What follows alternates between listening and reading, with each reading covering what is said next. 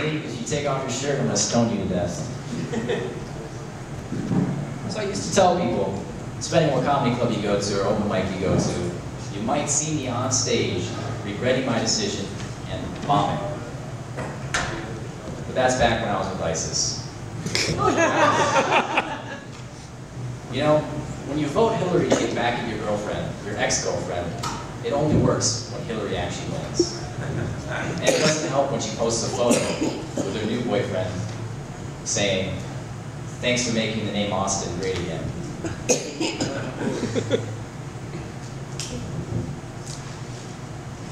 so I had a very rough set once upon a time.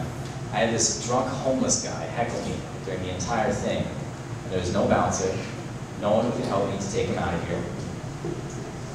Like workout, you can tell. And it's like, I can't, I can't engage him. It's sad. He's homeless. He's drunk, and you can't do that. It's, I can't. It's, I can't. It's, it's too mean. I don't do that. But on the way home, I did that. Oh, I did that. I thought of every everything I could have said to that guy. I went all out. I was just like, yeah, you can you can say what you want to say, but when I go home, my sleep number is in concrete.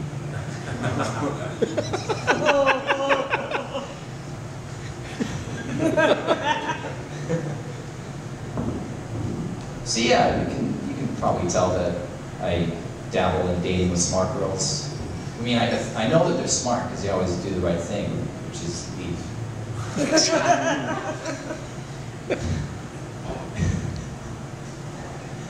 I have a cat. He's, uh, he's actually the greatest wingman you could ever have. He's completely trained. He's got a whole bag of tricks.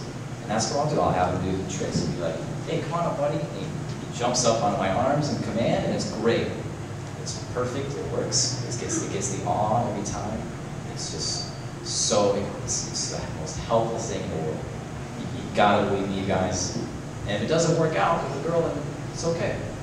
Because every once in a while, I get a little pussy that jumps into my arms.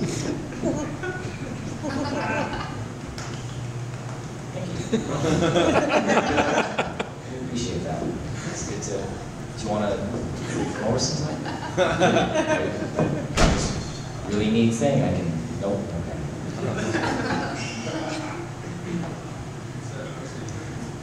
I have this idea of this this this airline where you can, when you buy your ticket, you can check some boxes on things that you're interested in, and then get seated next to someone, talk to them during the duration of the flight. Would be called social airways.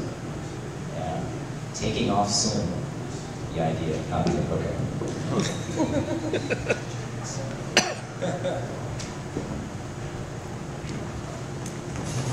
Anyone here like Netflix? Yeah. Yeah, all right. Let's actually, let's give it, a- let's give it a round for Netflix. Yeah. Streaming? Yeah, I love streaming. I'm always streaming, especially when I'm alone. And then if I'm, if I'm not alone, you know, the Netflix and chill thing, whatever that is. So, but speaking of streaming alone, I followed direction this morning. I use my feet, so I can't say I beat it single-handedly.